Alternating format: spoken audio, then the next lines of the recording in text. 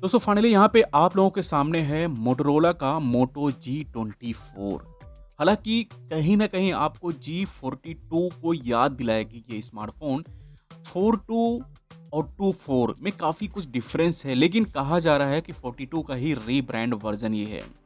लेकिन चलिए जान लेते हैं इसमें फीचर्स और स्पेसिफिकेशंस के बारे में, क्या कुछ इसमें मैच कर रहा है। तो मोटो जी ट्वेंटी फोर में आपको एफ़ एस डी मतलब full H D plus display screen मिल रही है। 90 हर्ट्ज का रिफ्रेश रेट है, जो कि मोबाइल में कंपनी एंट्री लेवल का MediaTek Helio G eighty chipset है।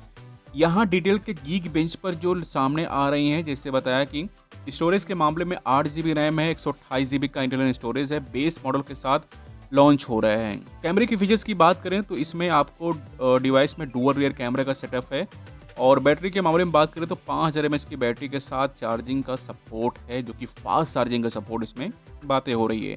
अदर्स की फीचर्स की बात करें, इसमें डुअल सिम फाइव जी और WiFi Bluetooth fingerprint sensor features के लेस हैं। ऑपरेटिंग सिस्टम की बात करें तो इसमें स्मार्टफ़ोन में कंपनी एंड्रॉयड 14 ओएस दे रही है, जहाँ पे काफ़ी कुछ दिलचस्प देखने को मिल रही है। अब यहाँ पे अगर मैं चीज़ बताऊँ कि जी ट्वेंटी फोर में गीग बेंच पे सिक्स बेंचमार्क टेस्ट के सिंगल स्कोर में 407 मिले हैं, और मल्टी स्कोर की बात करें तो तेरह के हैं। लिस्टिंग से two plus six core configuration के साथ अक्टा कोर प्रोसेसर मिलने की बात आई है। चिपसेट 2.00 गीगाहर्ट्ज और 1.80 क्लॉक स्पीड वाला हो सकता है।